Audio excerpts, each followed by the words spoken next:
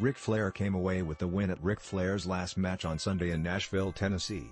The 16-time world champion emerged victorious alongside son-in-law Andrade El Idolo against Jeff Jarrett and Jay Lethal.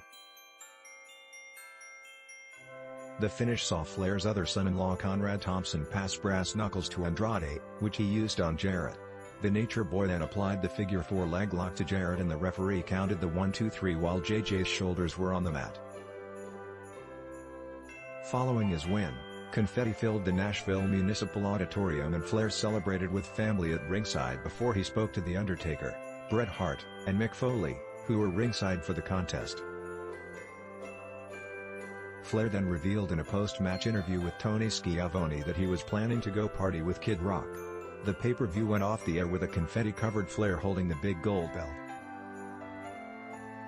Flair previously retired at WWE WrestleMania 24 in 2008 in a match with Shawn Michaels but he came out of retirement one year later, performing on a Hulkamania tour before signing with TNA Wrestling. His final match prior to Sunday's event was a loss to Sting on a September 2011 episode of Impact. Next article report, Ric Flair fine after last match.